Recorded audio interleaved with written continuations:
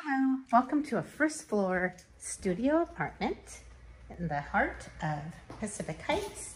You walk into a nice eat-in kitchen here. You have a gas range, granite counters, lots of cabinet space, nice refrigerator, plenty of room here for a table. Full bath with tub and shower. Behind the door here is a mirror. It's a very clean unit. Here's the bedroom. You have beautiful light fixtures.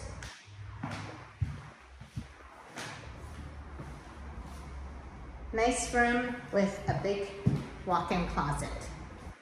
Goes all the way back.